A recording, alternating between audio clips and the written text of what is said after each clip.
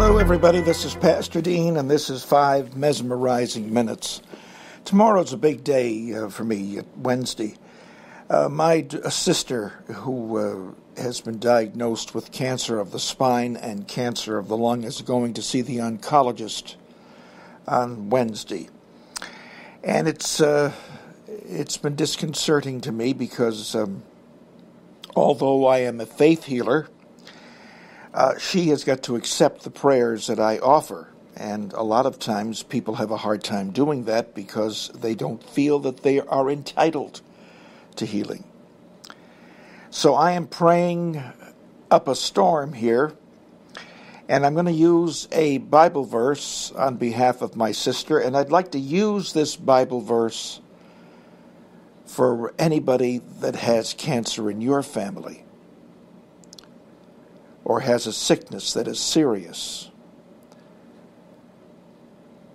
We'll pray for them. Let's create a miracle. Let's believe the Word of God.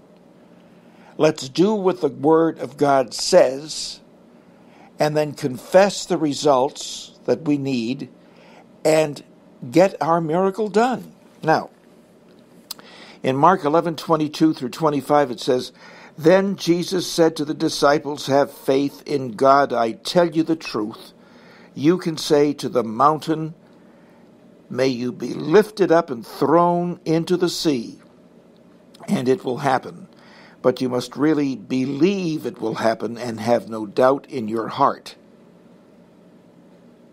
I tell you, you can pray for anything, and if you believe that you've received it, it will be yours.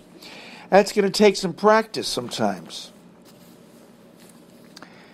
I had to, uh, I remember uh, in this living room here, when I had throat cancer, sitting and picturing myself, visualizing myself with a voice that was so powerful I could jar somebody off their seats at the time I was praying all this and visualizing it, I had a, a voice that was no higher than a, a baby's whisper. But I had to visualize that. I had to believe it. I had to say, You are capable of doing it. And because God can heal me, God has already healed me. Now all I have to do is put my faith to work.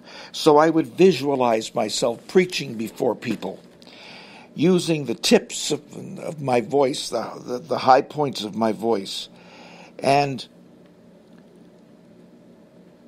I would picture it over and over and over again because I really wanted to believe that this was accessible to me, that I could receive it. And by picturing it over and over again, it just became more real and more real and more real.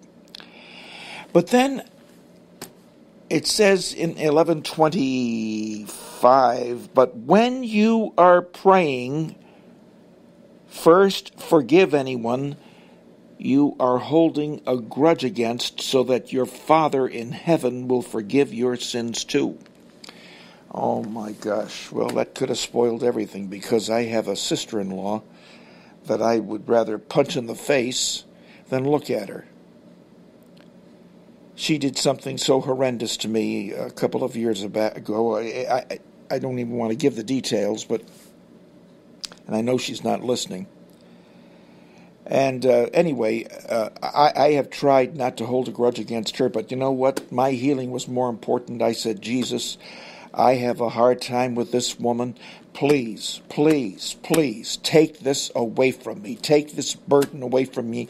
You're my Lord. I've got to give it to you, and you do what you have to do with it. But I am forgetting the harm that this woman did to me. I'm going to love her, and, and like nothing ever happened. And I was sitting reading the Bible one day in my office, and guess what? My voice came back. It came back reading the Bible. I did everything in this scripture. I'm telling you right now, if you can use love, if you can use forgiveness to your advantage, you will be the stronger person. You will be the person who can bridge the gap between two people at work. You will be the negotiator who can really strike the deal. You can't hold grudges. Oh, maybe that guy in the office said something to you that was kind of nasty 14 years ago and you've never forgiven him. Stop that baby stuff. Forgive him. Love him. What can someone do to you when you keep loving them? They make a fool out of themselves if they still keep talking about you. Love is so powerful. Forgiveness is so powerful. It's gotten me out of more jams than you can imagine. This is Pastor Dean, and this is five mesmerizing minutes.